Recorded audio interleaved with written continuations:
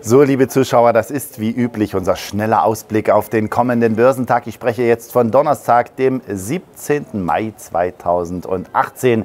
Ist der Wonnemonat auch schon wieder um die Hälfte rum und wir schauen mal drauf, welche Konjunktur- und Unternehmensdaten auf der Agenda stehen. So zum Beispiel um 8 Uhr am Morgen die aktuellen Angaben zu den Pkw-Neuzulassungen. Dann erhalten wir zeitgleich die Anzahl der Baugenehmigungen in Deutschland im ersten Quartal, also von Januar bis März. Darüber hinaus gibt es dann um 14.30 Uhr, wie fast an jedem Donnerstag, die Anzahl der Erstanträge auf US-amerikanische Arbeitslosenhilfe in der Vorwoche und zeitgleich der Philly-Fed-Index, der Konjunkturindex der Notenbank von Philadelphia in den Vereinigten Staaten von Amerika. Um 16 Uhr bekommen wir dann noch den aktuellen Stand des Index der Frühindikatoren in den USA für den Monat April. Und ein paar Unternehmen werden wieder ihre Zwischenbilanzen vorlegen. Zu denen gehören dann am Donnerstag Vita 34, Walmart Incorporated und Zooplus.